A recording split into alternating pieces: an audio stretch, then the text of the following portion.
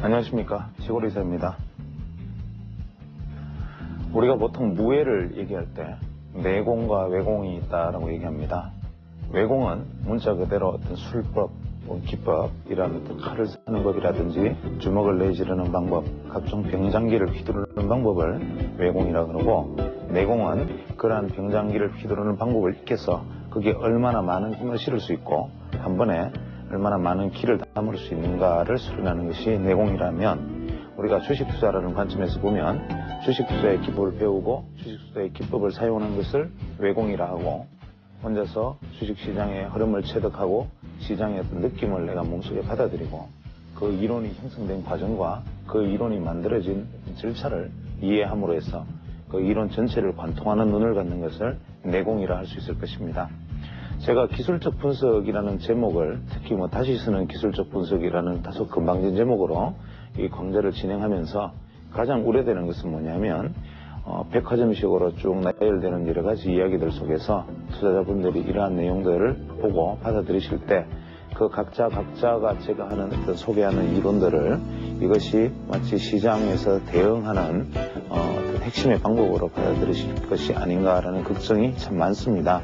제가 얘기하는 어떤 이론들은 한 칼일 수 있고 하나는 창일 수 있고 또 어떤 것은 활일 수도 있고 또 어떤 것은 돌멩이일 수도 있습니다. 그래서 이러한 것들 중에 병장기를 내가 칼을 잡느냐 창을 잡느냐 혹은 활을 잡느냐라는 것은 선택의 문제일 뿐이지 내 주위에 칼과 창과 활과 그 외에 돌멩이까지 가득 둔다고 해서 실제 전장터에서 그 네 가지를 한꺼번에 사용할 수는 없는 것입니다. 따라서 이 제가 말씀드리고자 하는 이 내용들에서 제가 정말 말씀드리고 싶었던 본질적인 내용들 이러한 이야기들이 관통하는 어떤 하나의 공통점 이러한 것들을 찾아내시고 제가 말씀드린 것들이 실제 투자에 적용하기에 앞서서 혼자서 많은 생각과 그 적용과 훈련과 트레이닝 그 다음에 시장에서 오랫동안 살아남으면서 버텨왔던 각자들의 어떤 경험들이 어, 같이 녹아서 하나의 어떤 새로운 완전한 무기로 태어날 수 있었으면 하는 것이 바람인데 만약 이러한 것들이 뭐 급등주 찾기, 폭등주 찾기라는 식의 어떤 기법류의 어 제가 드리는 말씀으로 받아들여진다면 오히려 이것이 많은 독소가 되지 않을까 우려되는 측면이 상당히 많습니다. 그래서 투자자 여러분들은 혹시 이 방송을 보시는 분들은 제가 여러분에게 가르쳐 드릴 수 있는 돈을 버는 방법은 전혀 없고 실제로 제가 이 강좌를 통해서 여러분에게 아무리 많은 얘기를 해도 이것이 실제 투자자들의 수익으로 연결되지 않을 것이라는 점을 제 스스로 너무나 잘 알고 있기 때문에 만약에 이 강좌를 들으시면서 이 기법을 적용해서 실제적인 매매에 활용하시겠다는 분은 실제로 오히려 더 나쁜 결과를 가져올 수 있고 제가 강좌를 하면서 드린 말씀을 오히려 예전에 생각해보지 못했던 부분에 대해서 내가 한번 생각해보는 계기로 삼아서 주식시장에 대해서 판단과 사유의 폭을 넓히는 계기로만 삼을 수 있다면 오히려 이 시간이 제 나름대로도 보람 있는 시간이 되지 않을까라는 생각입니다.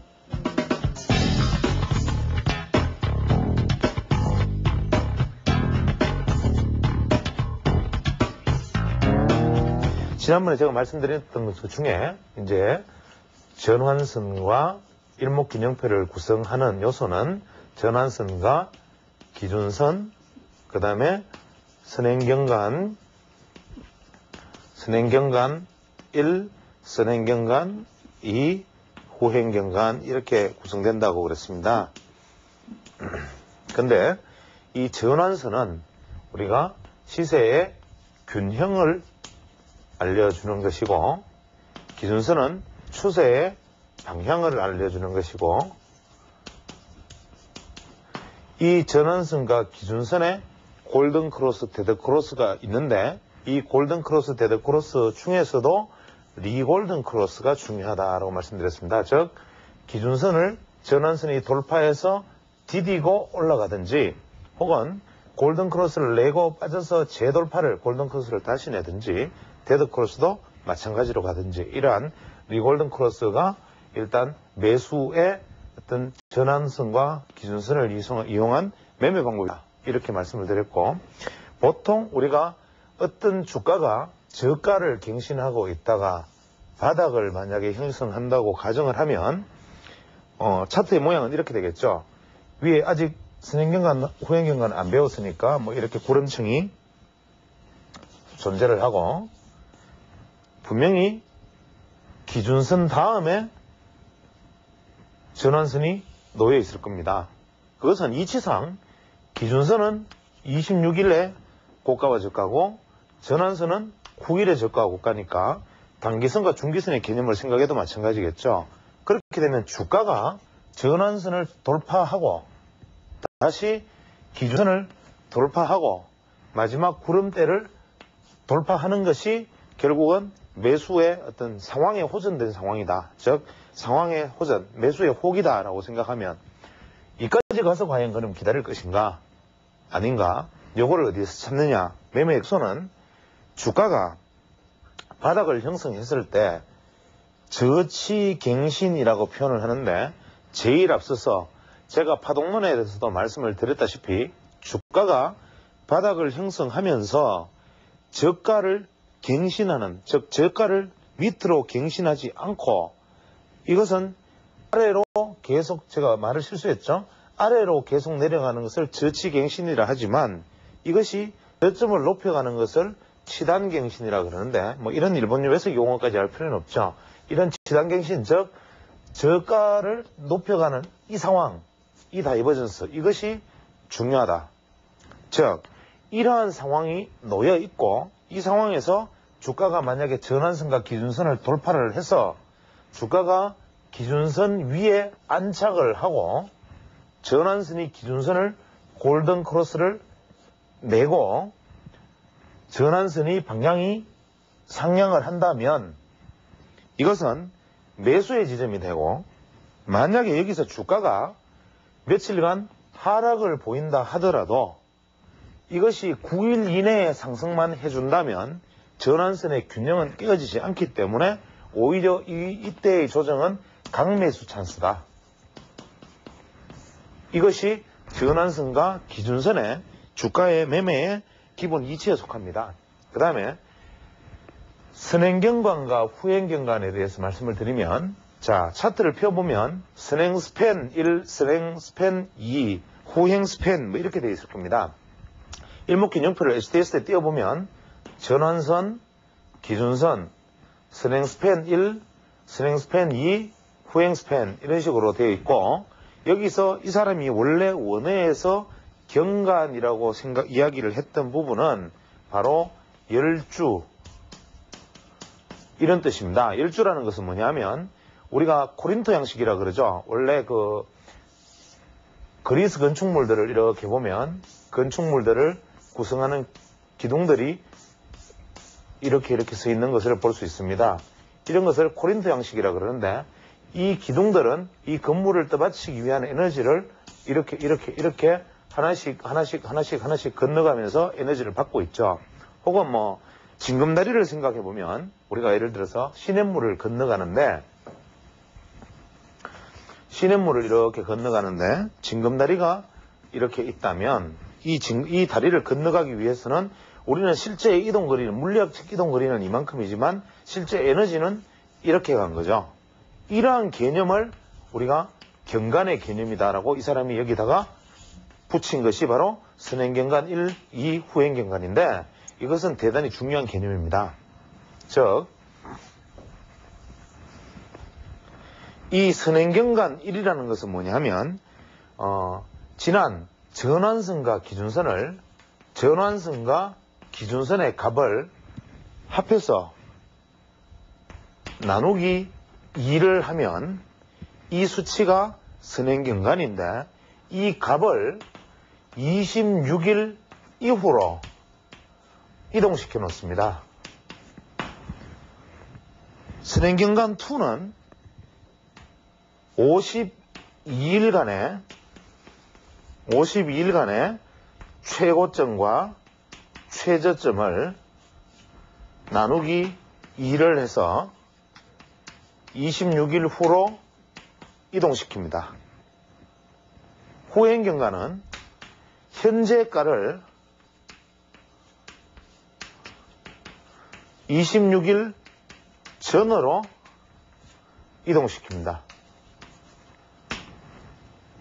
이것이 무슨 얘기냐 하면 우리가 차트가 지금 차트를 보시면 일목균형표가 이렇게 떠 있습니다. 떠 있는데 현재 주가가 이렇게 이렇게 들쭉날쭉 하다가 주가는 지금 여기 있는데 구름층은 이렇게 형성되고 있을 거라는 거죠. 뭐 이런 식으로. 여기 이거는 왜 나왔느냐?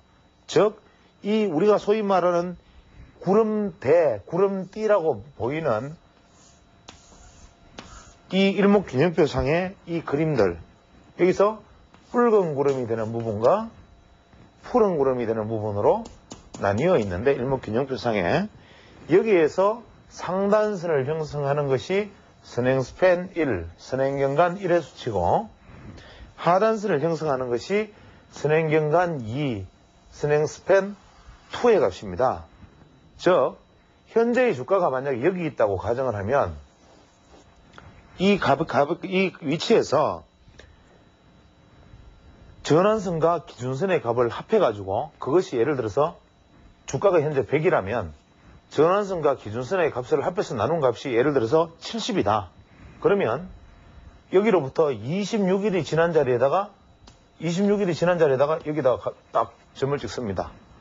그 다음에 또 하루가 지나면 여기다가 여기다가 여기다가 찍어서 이 선이 바로 스랭스팬 1이 되고 52일 앞에서는 전선은 9일 기준선은 26일이 됐지만 이번에는 스랭스팬 2는 52일간의 최고치와 최저치를 2로 나눈 값을 2로 이렇게 계속 26일 뒤에서 찍어 나가니까 우리는 사실 주가가 내일 어떻게 되면 이 전환선과 기준선이 어떻게 될 것이다라는 것을 미리 다 계산할 수가 있습니다.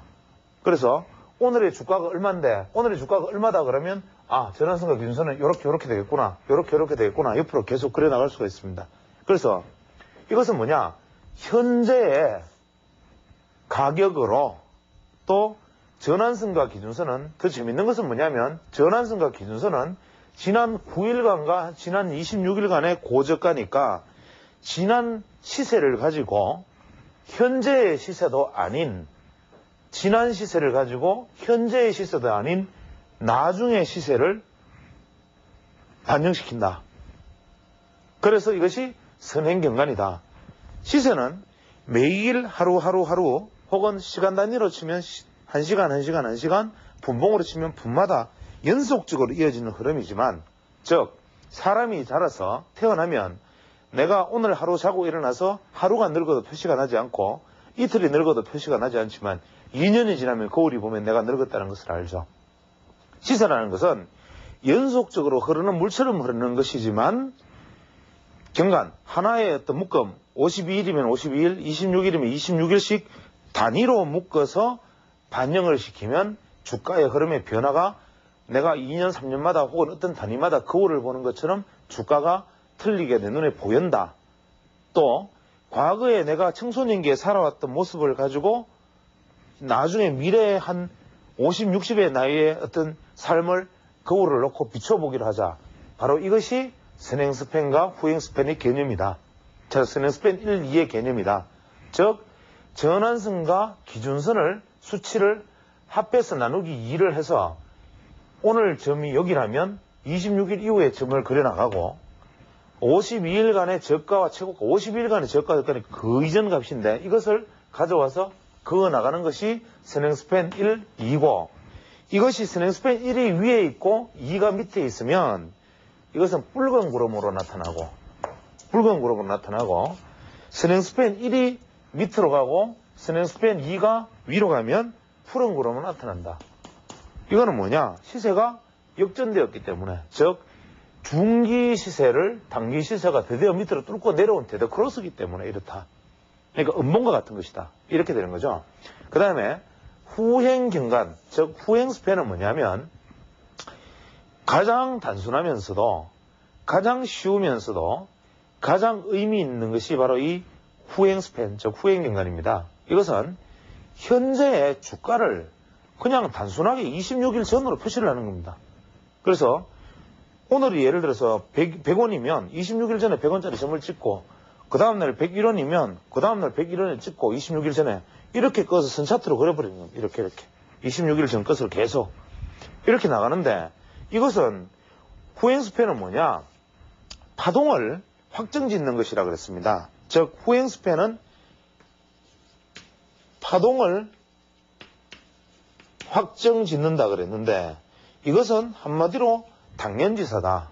왜 그러냐면 26일 전으로 숨겨놨을 뿐이지 실제로 그날의 주가를 그냥 선차트로 일봉을 선차트로 그려놓은 것이니까 일봉 선차트가 파동이 얼마나 잘 그려지겠나. 그것은 당연하지 않느냐. 파동이 그려지는 것은. 즉 선행 스팬 1, 2 선행 경간 1, 2는 현재 지점에서 26일 앞을 그리는 것이고 후행 경간 후행 스팬은 현재 지점에서 현 주가를 26일 뒤로 옮겨서 보는 것이다. 이것은 뭐냐면 어떤 현재의 시세를 미래에 반영하기 위해서 현재가를 과거의 흐름과도 비교해서 또 과거의 흐름을 미래의 어떤 거울로도 비추어서 주가가 또 날짜를 시간론으로 며칠 며칠 며칠 며칠을 잘라서 전환일을 다시 나누어서 이 주가를 움직이는 것을 찾아내자. 복잡한 것처럼 보입니다. 그러나 원래 이론이라는 것은 복잡을 복잡해야 명성을 얻고 누구나 이해하기 쉽지 않아야만 그것이 훌륭한 이론처럼인 것이 보이는 것은 동서고금을 통틀어서 그건 당연한 뭐 보편적인 현상이고 현재 이 일목균형표는 냉정하게 말하면 죽은 이론입니다. 죽은 이론인데 요즘 이 이론들이 새삼스럽게 다 집어내어져 가지고 이제는 정권사 리서치 팀까지 일목균형표를 들고 나와서 설명을 하기 시작하니 투자자들은 애꿎게도 공부하지 않아도 될 것을 안 그래도 주식 시세 보는 데만 해도 머리 아픈데 다른 사람이 다 보는 것을 나만 안 보면 안 되니까 어쩔 수 없이 알아야 되는 것으로 전락을 해버렸습니다. 그 다음에 이것이 시세에 미치는 영향을 한번 살펴보면 제가 말씀드리기를 이 선행 스팬 혹은 이 후행 스팬은 이 선행 스팬과 후행 스팬은 26일의 미래의 것이다. 26일의 미래를 옮겨 놓은 것이고 이 평균값 중에 상행 선행 스팬 1은 사실은 9일간의 최고점과 최저점이고 2는 20, 저, 저, 스냅 스팬 1은 전환선과 기준선을 합한 것이고, 스냅 스팬 2는 52일간의 중기 평균값, 고, 고가와 저가의 평균값이니까, 주가는 어떤 현상이 벌어지느냐 하면, 예를 들어서 현재 있는 주가가, 예를 들어서 현재 있는 주가가 급등을 해버리면, 이 선행 스팬과 후행 스팬이 만드는 이 구름대는 이 가격을 따라올 수가 없습니다. 이게 무슨 얘기냐면 이동평균선이 이렇게 있는데 주가가 수직 급등을 하면 3일 이동평균선은 바로 따라서 급등을 하고 5일 이동평균선은 조금 덜하게 10일 이동평균선은 조금 덜하게 20일 이동평균선은 이렇게 뭐 60일 이동평균선은 이 정도 120일 이동평균선은 움직이려면 이렇게 되겠죠. 그래서 이것과 같은 이치다. 그래서 주가가 만약에 이것을 뚫고 상승을 해버리면 이것은 반영이 안 되니까 주가와의 괴리가 일단 무조건 커지게 돼 있다. 그래서 주가가 상승을 하면 상승폭이 클 때 조건은 바로 이 구름띠, 구름대와의 괴리가 커진다. 그 다음에 에너지가 상승 후에 강화되려면 이 구름띠를 지지하고 상승을 해야 되고 이 에너지가 약화되려면 구름띠 속으로 들어간다. 즉 여기서 한번 이치를 생각해 보겠습니다. 주가가 처음에 급등을 파괴해버리면 이것은 52일 이것은 전환선과 기준선을 합한 것이니까 뭐 대충 9일과 26일 합이면 10일 정도 이동평균선의 움직임과 비슷하다고 생각하고 드디어 되죠. 그러나 이것이 상승을 해서 어느 정도 횡보를 하게 되면 고가에서 어떻게 먼저 따라오겠습니까?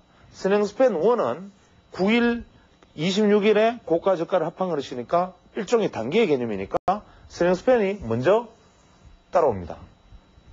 후행스팬은 어떻게 되겠습니까? 52일의 빈값이니까 아직까지도 반응이 더딥니다. 이렇게. 그렇게 되면 어떻게 되느냐? 저절로 구름층이 두꺼워지기 시작합니다. 구름층이. 그 다음에 더 이상 주가가 높아지지, 만약에 더 이상 높아져 버리면 계속 두꺼워지면서 구름층은 점점, 점점, 점점 두꺼워지겠죠.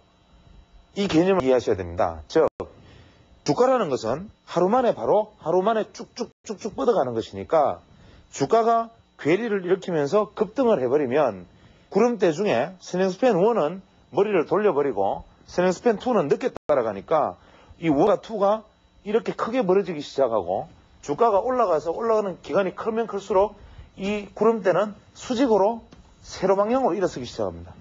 이렇게. 즉, 어떤 그림을 이렇게 되느냐 하면 급등을 하면 스낵스팬 1이 이런 식으로 따라 올라가고 스낵스팬 2는 이렇게 따라 올라가니까 구름대는 수직을 세로 방향으로 구름대가 서지만 이 폭은 점점 넓어지게 됩니다.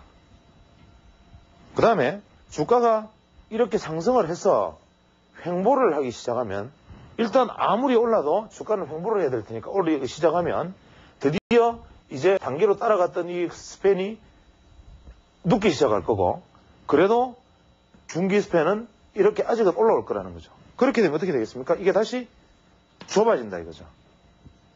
그러다가 주가가 만약에 점점 점점 횡보해서 조금만 내려오면 횡보 기간이 많이 길어지면 고가 저가 차이가 없으니까 여기서 조금만 떨어지면 저가가 갑자기 낮아지니까 어떻게 됩니까? 이번에는 스낸스펜이 밑으로 떨어지고 이것은 반응이 더디니까 이런 형태로 가면니까 실제로 주가는 고가권에 있지만 이게 빨간 구름대였다. 원이 위에 있고 투가 밑에 있으니까 이것이 어느 순간인가 갑자기 파란 구름대로 바뀌어버릴 수도 있다. 그러면 주가는 횡보해서 급등했던 주가가 횡보해서 여기서 이 상단선에 구름대의 상단선에 맞고 튀는 것이 변화일이다. 이것이 날짜로 딱 보면 이미 여기서 뭐 26일째가 되든 며칠째가 되든 혹은 직전의 상승폭이 어떻게 되든 이 변화일과 겹칠 확률이 높고 이것이 이 사람의 이야기입니다. 가조의 이야기. 그 다음에 변화일이 가능성이 높고 이 변화일에 여기서 바로 상승을 해줘야 디디고 올라가는 연장 상승 파동이 일어나고 반대로 하락일 경우에는 밑으로 구름대가 이렇게 형성되면서 수직 하락하겠죠. 그러나 이것이 만약에 주가가 안으로 들어가 버리면 에너지가 쇠약해진 것이고 여기서 다시 재돌파해서 디디고 나가지 못하면 밑으로 뚫려 내려가고 이때부터는 어떻게 됩니까? 오히려 이쪽이 확대되고 이쪽이 더디게 반응하는 현상이 생기면서 푸른 구름대가 확장되면서 주가가 이번에는 떨어져서 저항을 받으면서 떨어지게 된다. 이런 이야기가 됩니다. 자, 제가 이것을 실차트로 지금 설명을 드리지 않고 이 그림으로 지금 현재 분필로서 그림을 그려서 설명을 드리기 때문에 지금 이 부분이 이해가 잘 안 되시는 부분들이 분명히 많으리라고 생각을 하는데 어떤 면에서는 앞서 시간에도 말씀드렸지만 지금 제가 이렇게 말씀드린 것을 가지고 차트를 만들어 보고 수치를 대입해서 그어보거나 실제로 구름대 형성 과정을 내가 혼자서 생각해 보는 것이 훨씬 더 유리할지 모릅니다. 왜냐하면 사실은 이런 일목균형표 정도는 투자자들이 그냥 주가를 이렇게 살펴보면 뭐 그 전까지의 주가를 이미 알고 있으면 오늘의 주가가 고가를 경신했다 안 했다 이 정도만 알아도 그 다음 구름대는 어떤 모양으로 간다 뭐 주가가 급상승하면 구름대가 이렇게 오겠다 뭐 이렇게 되겠다 하는 것을 우리가 이미 머릿속에서 그냥 선연히 그려져야 됩니다. 주식 투자라는 것은 장난이 아니기 때문에 우리가 주식이라는 것은 정말 굉장히 중요한 재산과 재화를 걸고 하는 것이기 때문에 철저한 준비를 해서 이러한 어떤 뭐 기본적인 어떤 내용들이나 어떤 어떤 이야기를 들으면 어 지금 저 친구가 얘기하는 것은 뭐 그저 이런 이야기군 이렇게 얘기하는 것들이 머릿속에 그려질 수 있는 정도의 수준 이것이 바로 주식 투자를 할 수 있는 자격을 갖춘 겁니다. 이게 만약 아니라면 지금이라도 정말 외람되고 송구스럽고 금방진 말씀이지만 사실은 주식 투자자들이 내가 단독으로 개인의 자격으로 주식시장에 떠들어서 이 살벌한 판에서 이 도박판에서 살아남기를 바란다는 것 자체가 사실은 기적에 가까운 일이고 그저 개인 투자자들은 주가가 상승하면 지수가 크게 상승하면 그냥 조금 벌고 지수가 좀 하락하면 남보다 몇 배 더 떨어지고 이 일을 계속 반복합니다. 주식이라는 것은 최소한 어떤 이러한 것들이 선연이 그려지고 뭐 어떤 내가 오늘의 주가를 보면 보조지표가 눈에 완전히 들어오고 오늘의 보조지표를 이렇게 움직였다.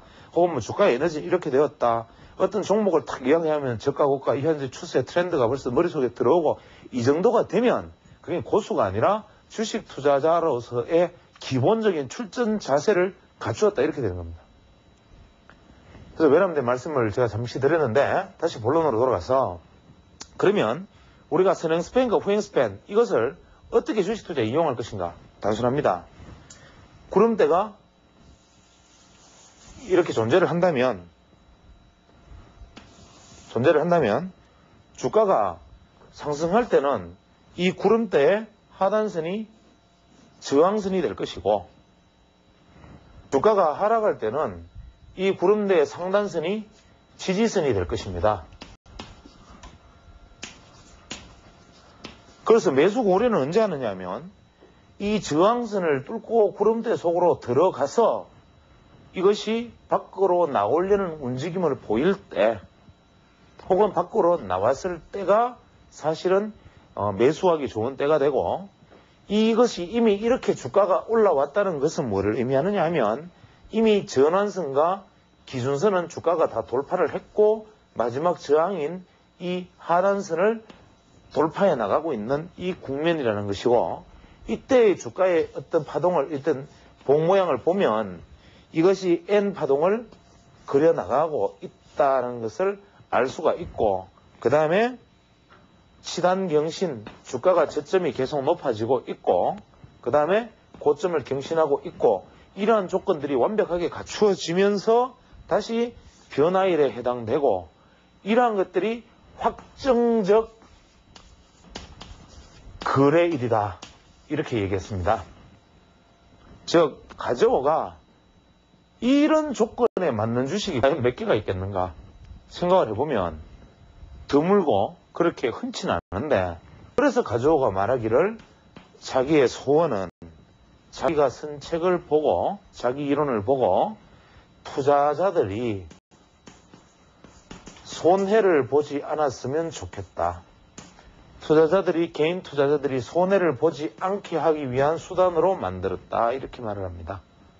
즉 자기가 말한 이런 완벽한 조건에 들어오는 것이 매수의 좋은 조건이고 이것이 다시 이제는 기준선마저 상향을 하고 전환선을 기준선 위에서 지지받고 주가는 저항띠를 돌파하고 이런 국면에서 주식 투자를 하고 그나마 그것도 M파동의 이 계산법을 통해서 혹은 N 계산법을 통해서 목표치를 정해서 파는데 물론 소폭의 이익이 나겠지만 도대체 손해볼 일이 뭐냐 이것이 바로 일본 사람들이 시스템 trading이 발전하게 된 하나의 어떤 계기가 되었고 전환점이 되었습니다. 그래서 이 사람이 어떤 시스템 트레 자기가 전원 일만 이야기한 것이 아니라 일본에서 개인 투자자들을 위한 시스템 trading 우리가 증권사에서 제공하는 차트상에서 어, 뭐 시스템 trading 혹은 어, 떤 뭐 뭐 여러 가지 증권 사이트 같은 곳에서 혹은 뭐 사설 기관에서 제공하는 매매 신호 이런 것들은 사실은 그냥 이렇게 내용을 알고 보고 이 내용을 풀어보면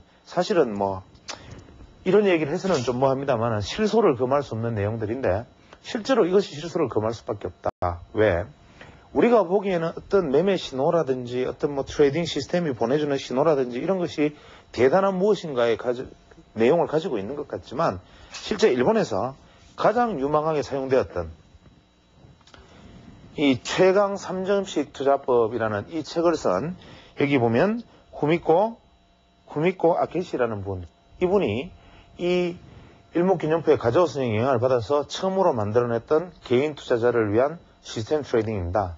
이것이 아직까지 일본에서도 이것이 약간의 어떤 변형만 일어난 채로 그대로 사용이 되어졌고 이러한 어떤 그 개인 투자자들을 위한 시스템 trading이 일본에서는 상당히 오래 전부터 만들어져서 특히 보조 지표를 이용한 방법들이 많이 생겼는데 이 당시에를 간단하게 소개해 보면 뭐 괴리율이 이 괴리율이 뭐 마이너스 15% 이하 그 다음에 VR이 70% 이하 상대 강도력 지수 RSI가 25% 이하 이것을 분석 일수를 26일, 25일, 14일로 해서 이런 경우에는 매수를 한다.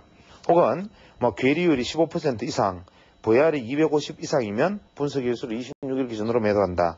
괴리율이 15% 이상 어, 상대 강대력 지수 RSI가 20% 70% 이상이면 분석 일수를 26, 14에서 매도한다. 뭐 이러한 어떤 내용들, 이러한 것들이 현재 이분들이 그 영향을 받고 개인 투자자들을 위한 시스템으로 시스템 트레이딩으로 소개를 한 다음에 일본에서는 지속적으로 개인 투자자들이 컴퓨터 프로그램을 이용해서 시스템 trading을 하는 것이 발전을 했으나 이 역시도 일본 시장의 흐름이 제일 처음에 막부 시대에 일어났던 뭐 여러 가지 어떤 봉 패턴들, 그 다음에 어떤 여러 가지 뭐 고가 놀이라든지 각종 어떤 패턴의 여러 가지 어떤 변형들 뭐 이런 것들을 가지고 사케다까지 막 다양한 일본인들 특유의 어떤 그런 방식으로 시장을 분석하던 법에서 손을 들고 두 번째로는 이런 뭐 예를 들면 뭐 신화화라든지 같은 분이 나와서 보조지표 같은 것을 만들어서 한번 대응해 보기도 하고 또 그전에는 파동론에 가까운 뭐 기사몰이라든지 혹은 이런 분 가조 선생이라든지 이런 분들이 파동론에 관해서도 또 한번 해보고 이것도 해보고 저것도 해보고 또 마지막에는 이런 후미코라는 분이 나와서 시스템 트레이딩까지 다 해보고 결국 개인 투자들이 다 죽었습니다.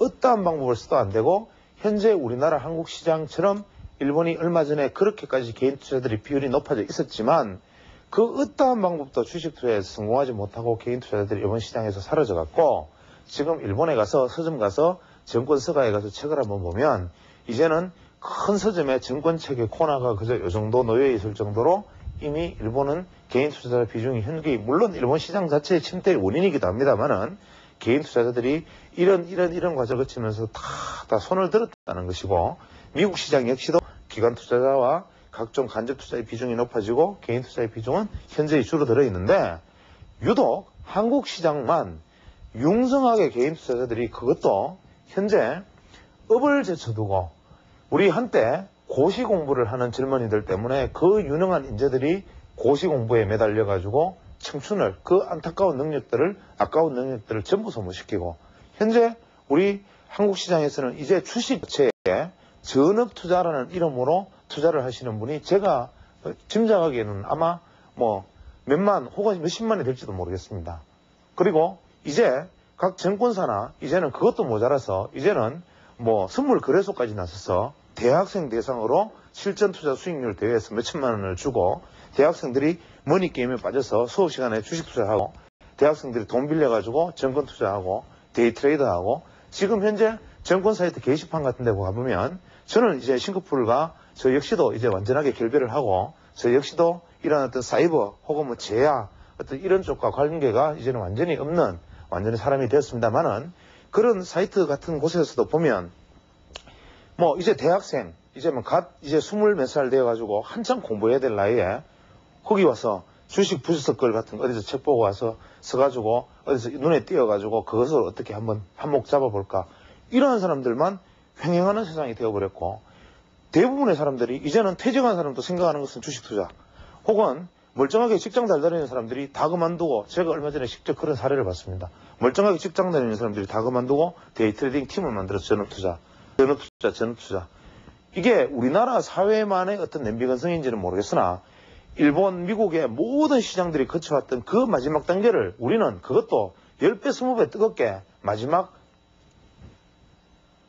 절망의 길로 가고 있는 건지도 모릅니다. 그래서 이러한 내용들이 제가 지금 설명을 하면서도 과연 내가 이런 얘기를 하는 것이 긍정적인 영향을 미칠 것인가 부정적인 영향을 미칠 것인가에 조차도 자신이 사실 없습니다. 이야기가 잠시 샜는데 다시 원래대로 돌아가서 이런 어떤 확정적 어떤 결정론, 가격의 결정론은 예측하는 것이 아니고 이러한 시점에서 변동을 보자라는 것인데 그렇다면 스낵스팬 1과 스낵스팬 2가 만들어내는 이 구름대의 개념에 대해서는 이제 뭐 당연히 투자자들이 그림이 잡힐 것이라고 생각합니다. 그래서 주가가 기존으로 치면 이 구름대에 진입하려고 그러면 저항을 받지 않고 구름대에 저항에 성공할 것 같으면 일단 뭐 매수할 만한 좋은 국민이 되고 이 구름대를 벗어나면 마찬가지인데 하나 중요한 것은 여기서 이렇게 꺾이는 이 교차 지점 이것이 바로 twist zone이라고 그러죠. 이것은 뭐 제가 이름을 붙인 것이긴 합니다만은 어, 이 twist zone은 제일 약체 국면이고 한 가지 재미있는 것은 이 twist zone은 주가가 상향하던 주가가 돌파하기 쉽고 하락하던 주가가 상승으로 돌파하기도 쉬운 zone이기는 하나 이 twist zone으로 돌파한 것은 반드시 되돌아갑니다. 다시 이렇게. 그래서 왜 이 twist zone으로 돌파한 것이 되돌아 들어가는지에 대해서는 저도 아직 많은 생각을 중인데 원래 이 구름대 돌파에 있어서 가장 이상적인 모습은 진입해서 횡보해서 벗어나는 돌파가 M 패턴이 가장 좋은 돌파 방법이라 그럽니다. 여기서 이것을 이용하는 각종 지지와 저항, 뭐 여러 가지 방법들, 매매 방법들이 여러 가지 다양할 수 있고, 심지어는 스탠스펜의 어떤 뭐 수치의 고점과 주가의 저점, 전환선과 기준선의 모양들을 지난번 고점을 가지고 매매를 측정하는 방법도 있지만, 이러한 방법들은 전부 독소적인 조항이라고 생각되어서 다 생략해 버리겠습니다. 그래서 이 개념만 이해하시고, 이것은 1분 가조 선생이 첫 번째 얘기했던 대로 내가 매매 방법을 여기서 이용 방법을 설명을 하면 투자자들은 잃, 잃을 것이다. 왜냐하면 이것은 경험과 확정적인 것을 섞어서 각자가 이용하기에 적합한 방법이지 이것이 확정적인 거래 방법이 아니기 때문이다. 이렇게 얘기를 했고 그래서 이분은 자기의 책에서도 몇 번이나 당부를 하고 있습니다.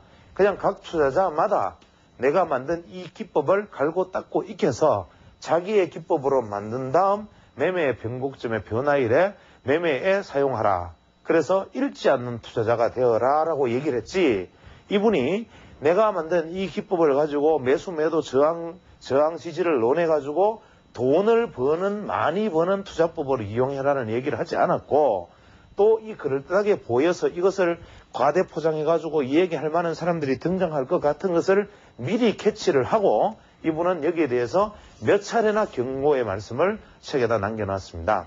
그 다음에 마지막으로 후행 스팬에 대해서 얘기를 해보면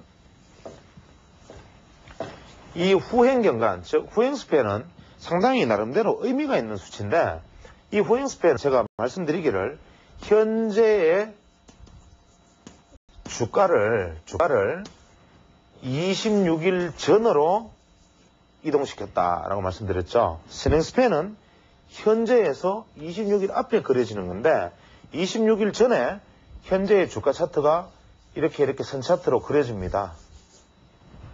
선 차트로. 그런데 우리가 사실 가만 보면 이것은 좀 우스운 이야기이기도 한데 어떻게 보면 이렇습니다.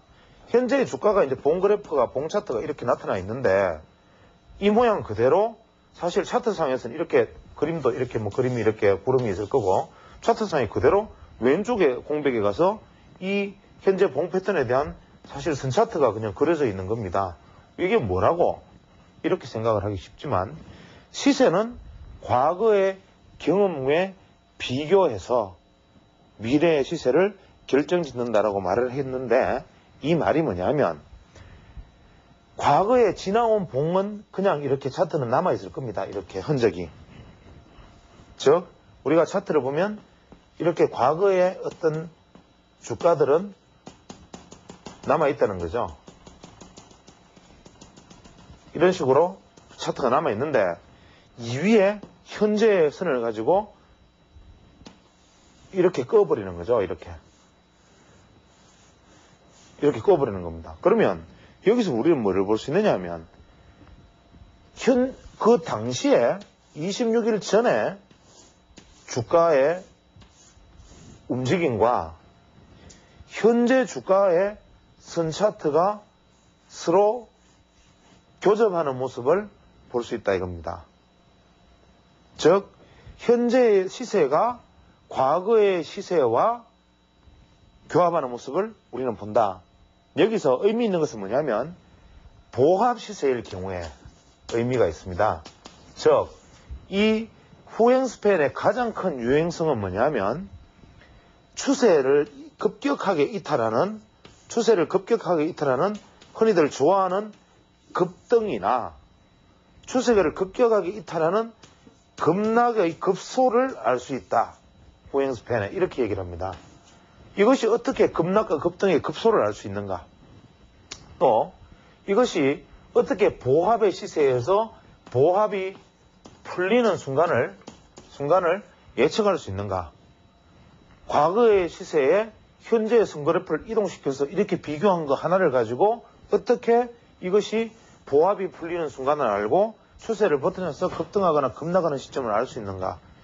여기에 바로 해답이 있는데 이것 역시도 이것이 전대값은 아니나 이것을 자세히 조사를 하다 보면 여러분에게 제가 좀 더 깊은 얘기는 하지 않겠습니다. 왜냐하면 앞에서도 말씀드렸지만 이런 얘기들은 독소가 되기 때문에 현재 이러한 과거의 어떤 시세와 현재 후행 스팬은 괴리되는 모습을 반복되는 모습을 보이는 것이 보합입니다. 이게 무슨 얘기인지 잘 생각해 보시기 바랍니다. 이것은 제가 그냥 어떤 면에서는 숙제로 남기겠습니다. 예를 들어서 과거의 시세와 후행 스팬이 교차하는 것이 보합을 유지하는 거다. 보합 유지고 후행 스팬이 과거의 시세와 일치되어서 한 방향으로 나아가면 이때가 바로 급소다. 그 다음에 만약에 보합에서 후행 스팬이 한 방향으로 나아가면 이게 바로 급소다. 그 다음에 후행 스팬이 단순하게는 주가를 후행 스팬이 뚫고 올라가면 매수다. 뭐 이런 얘기도 있지만 이런 사소한 얘기들은 다 실수두고 두 개의 방향이 일치하면서 trend를 형성하고 이것이 divergence를 만들 때 이것이 바로 급소다 이렇게 얘기를 했습니다. 이 부분은 좀 더 깊은 설명은 생략하기로 하겠습니다. 즉 후행 span의 활용도에 있어서는 이렇게 사용을 하는데 그렇다면 이것을 총정리해서 다시 놓고 보면 우리가 일목균형표에서 매, 매도는 항상 매수에 반대니까 매수하기 좋은 지점은 뭐냐? 주가가 전환선과 기준선과 하단선을 차례로 돌파해 들어가고 하, 어, 전환선은 기준선을 돌파를 하며 기준선은 상향 추세로 전환을 하고 후행 스팬이 주가를 뚫고 올라가되 후행 스팬이 주가의 방향과 일치를 하고 그 날짜가 전환 일 중에 대등 수치와 기본 수치의 전환 일에 해당하는 조건. 이 엄청나게 까다로운 조건에 들어맞는 조건. 이것이 바로 매수 혹이다. 이렇게 얘기하고 반대는 매도 혹이다. 이렇게 얘기를 합니다. 도대체 제 친구가 무슨 소리를 하고 있나 응? 이렇게 생각이 되시는 것이 정상이고 지금 현재 제가 만약에 차트를 앞에 두고 종목의 사례를 들어가면서 자 이런 경우에는 이렇게 급등을 했습니다. 이런 경우에는 이렇게 급락을 했습니다. 보십시오. 이 경우에는 보합에서 풀렸지 않습니까? 이렇게 말을 하려면 현재 이것 방송을 보는 모든 시청자들을 그냥 바로 현혹시킬 수도 있는 것이겠죠.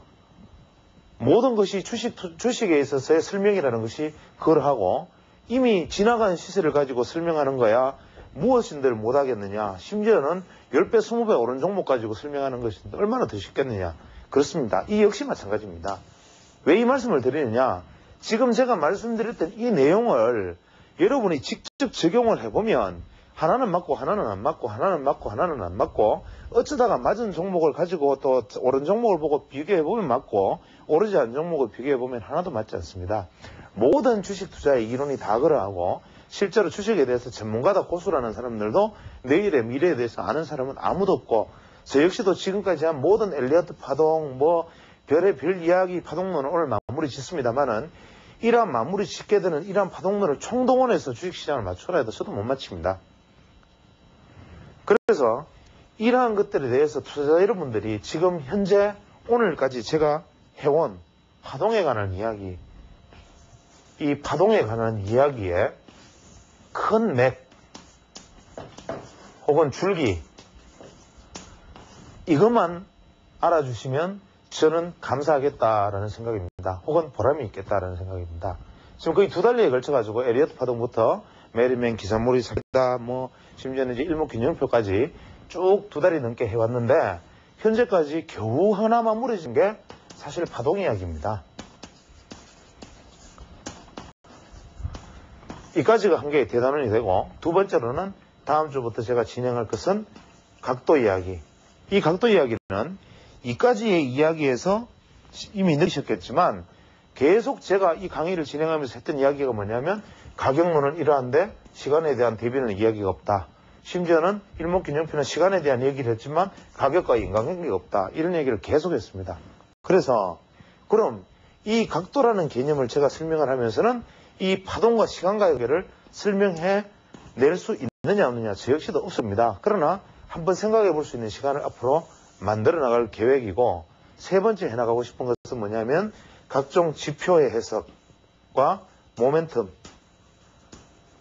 우리가 알고 있는 지표들 이 알고 있는 각종 어떤 지표들 특히 볼린즈 밴드, 스타캐스틱, RSI 뭐 각종 지표들 이러한 지표들이 과연 책에서 가르쳐 주는 것 책에 설명해 놓은 것들이 과연 이 지표들이 말하고자 하는 원래의 뜻인가 혹은 이것이 적용이 올바르게 되고 있나 이런 부분들에 대해서 지어나가는 이야기해 나가는 것이 세 번째 단원이 되겠습니다. 그래서 제일 마지막 단원은 거래량이나 거래량과 같은 에너지 분석을 해볼 계획인데 이 거래량 분석은 에너지 분석은 일반적으로 아마 시중에 알려져 있는 것과는 뭐 많이 다른 방법으로 진행될 것 같습니다. 그래서 제가 현재 시간적 여건상 이것들을 어느 만큼 이제 시간이 소화해낼 수 있는지는 저도 역시 잘 모르겠고 저 역시도 이제 뭐 본업에 어느 정도 충실해야 되기 때문에 그 안에서 제가 이루어 나갈 수 있는 부분까지 진행해 나가면서 시간을 만들어 나가도록 하겠습니다. 그래서 오늘까지 파동론에 대한 이야기를 이제 마무리 지으면서 그간 제가 두 달 넘게 파동에 대한 이야기를 해왔던 부분들에 대해서 혹시 의문이 있거나 궁금한 점이 있는 분들은 뭐 어떤 뭐 다른 게시판에 뭐 글을 남기시거나 이러한 형식으로 질문을 주시면 제가 힘이 되는 한 어, 아마 게시판에 글을 남기면 담당 PD 선생님이 저한테 얘기를 할 것 같은데 뭐 그런 부분에 궁금한 점이 있으시면 가능하면 제가 작은 도움이 되고 혹은 마무리 보충을 통해서라도 뭐 마무리 짓도록 애를 써보겠습니다.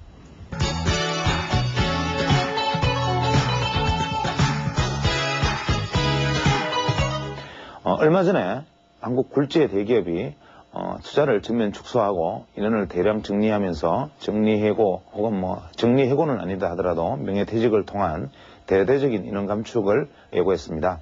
또 이것이 뭐 전체 매스컴에 각 도화 매스컴에 어, 뭐 일면을 장식하고 각 신문 기사라든지 방송에 어, 대단한 화제거리가 되었는데 어, 예를 들어서 이러한 재벌 그룹은 비교적 여건이 좋고 다른 기업들에 비해서는 생존 여력이 충분히 강한 기업인데 이 기업이 어, 굳이 그렇게 어, 이런 시장 상황에서 우리는 이렇게 몸집을 줄이겠다. 우리는 이렇게 감량 경영을 하겠다. 지금 상황이 안 좋으니까 사람을 자르겠다. 이러한 것들을 홍보 차원에서 발표를 할 만한 사안인가라는 점에서 기업 윤리라는 점을 다시 한번 되돌이켜서 생각해 보게 됩니다.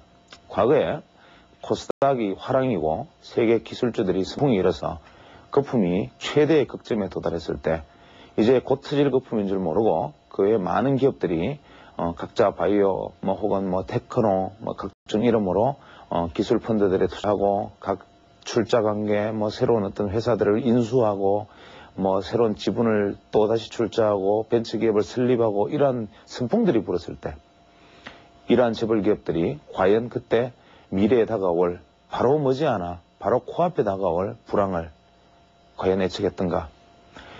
그럼 1999년 말 2000년 접어들 당시에 곧 다가올 인터넷 거품의 몰락이라든지 그 외 각종 기술주들의 몰락, 경제 상황의 어, 뭐 하향 이런 것들을 예측하고 그때부터 벌써 투자를 줄이고 지출을 억제하고 내부 유보율을 높여가면서 시장에 대응했던 기업들이 과연 존재했던가?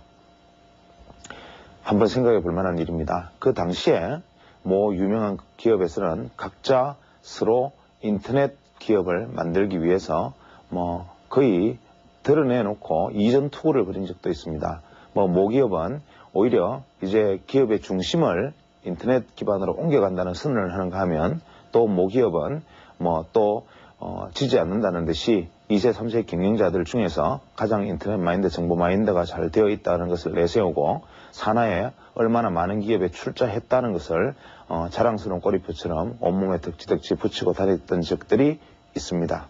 그러나 그분들이 과연 현명해서 그 다음에 닥쳐올 불행들을 미리 예측을 했던 분들이 과연 있었는가라는 관점에서 지금 와서 이제 경기가 최악의 상황에 다다르고 이제 더 이상 더 바닥이 갈 데가 없을 것처럼 보이는 이 상황에서 어, 그나마 이익을 남기는 기업이 사람을 먼저 자르고 이제 더 이상 투자를 축소하고 이러한 발표들을 뭐 서슴없이 한다면 과거에 그 사람들이 해왔던 투자에 대한 어떤 손실에 대해서는 과연 어떠한 생각을 하고 있는지 지금 내가 그나마 형편이 좀 나은 기업들이 비록 어렵다 하더라도 회사에 크게 무리가 가지 않는 한 고용을 유지하고 일정 부분 시설 투자를 함으로 해서 경제에 내가 일정 부분 기여를 하겠다는 기업 윤리를 가진 기업들이 과연 존재하는지를 한번 생각해 보게 됩니다. 그래서 기업이라는 것의 속성이 근본적으로 돈을 버는 것이긴 하지만 그 기업을 움직이는 것은 사람이고 그 기업을 있게 한 것은 바로 우리 사회고 우리 사회를 유지하고 지켜주는 것이 국가라면 그 기업의 영속성을 보장하는 것은 바로 사람입니다. 그래서 사람을 자르고 사람을 줄이고 사람을 퇴출시키는 것은 이미 그 기업의 경영자로서의 자질이 스스로 부족하다는 것을 이미 드러내 놓는 것임에 다름이 없습니다. 이미 시, 시절이 좋을 때, 경기가 좋을 때 오히려 불황을 대비하고 오히려 여름에 밀짚 모자를 사고 이러했던 사람들이 겨울에 밀짚 모자를 사고 이러한 어떤 해안을 가졌던 사람들이 만약 있었다면 지금 그 안에서 열심히 한 가족 꾸려나가는 가장들이 이제 실업자라는 이름으로 길거리에 내몰리고 현재 서울대학을 졸업한 어, 사람이 아홉 번의 실험 아홉 번의 취직시험 낙방할 정도 심지어는 7급 공무원 시험에 뭐 석박사만 80명이 몰리는 정도의 어떤 문제들 이런 현상들은 결국 기업들이 가장 먼저 털어내는 것은 불황기에 자신들이 그 이전의 호황기에 과잉 투자했던 잘못은 생각하지 않고 제일 먼저 인적 청산에 돌입하는 모습들 이러한 것은 정말 아름답지 않고 어, 바람직하지 못한 모습으로 비칩니다. 따라서 물론 현재 우리나라 거래소 기업이나 상장 기업 중에 뭐 거의 반수 이상이 현재 돈을 벌어서 이자도 못 갚는다라고 얘기를 하는데 이런 돈을 벌어서 이자도 못 갚는 기업들의 어, 경영자가 사실 어떤 면에서는 가장 먼저 자기 자신이 퇴출돼야 되는 것입니다. 그런데 그 경영자의 결정을 믿고 따르고 열심히 일했던 근로자를 먼저 자른다면 이것은 주객이 전도되고 본말이 전도된 일이 아닐 수 없습니다. 따라서 비록 기업을 경영하시는 분들 입장에서는 다소 어렵고 힘든 부분이 있다 하더라도 최소한 내 가족이나 경영자를 경영자 입장에서 고용자 입장에서 혹은 피고용인 혹은 직원들을 뭐 줄이고 인원을 축소하는 선 그 사람 한 사람의 문제가 아닌 그 사람의 그 일가족과 그에 딸린 많은 식구들의 어떤 불행이 바로 그것으로부터 시작될 수 있다는 점을 신중하게 고려해서 최소한 인적 청산을 오히려 한 발 늦게 하고 가장 먼저 설비라든지 투자를 조정하거나 그의 각종 지혜로운 전략을 수으로 해서 어, 더 이후에 더 이상 불행한 일들이 더 이상 많지 않았으면 하는 바람입니다. 특히 다만 지금 만약에 경기가 저점을 통과하고 있는 시점이라면 현재 기업의 투자를 줄이겠다고 말했던 기업들이 언젠가는 또다시 어, 그 매출이 화랑인 당시에 가서 또 뒤늦게 투자를 늘리고 앞으로 뭐 어떤 계획을 하겠다라고 끊임없이 어, 확대하는 발표를 하고 사람을 뽑고 뭐 이러한 대대적인 행사들을 어, 벌일 겁니다. 그렇게 됐을 때 또 그 안에서 다시 과잉이 되고 다시 나빠지면 그렇게 슬비 과잉되었던 부분들은 또다시 줄어들고 이런 어리석은 언제까지 반복할 것인가. 그래서 혹시나 만약에 해안이 있는 경우라면 지금이 오히려 어떤 면에서는 다소 어렵더라도 좀 더 사회에 베풀고 좀 더 사회에 나눠주고 기업의 일이라든지 건전한 기업관을 가치관을 한번 알려줄 수 있는 시기가 아닌가 우리가 버틸 수 있는 여력이 있고 환경이 조금 좋다면 사회에 이참에 한번 기회해 볼 수 있지는 않은가라는 생각들을 해볼 수는 없는지 한번 물어보고 싶습니다. 감사합니다.